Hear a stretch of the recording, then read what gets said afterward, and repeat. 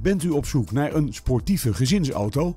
Kijk dan eens naar deze Opel uit het jaar 2020. In het sportieve interieur is het prettig toeven, dankzij cruise control, een navigatiesysteem en een carkit. De uitrusting bestaat verder onder andere uit 18-inch lichtmetalen velgen, parkeersensoren en een trekhaak.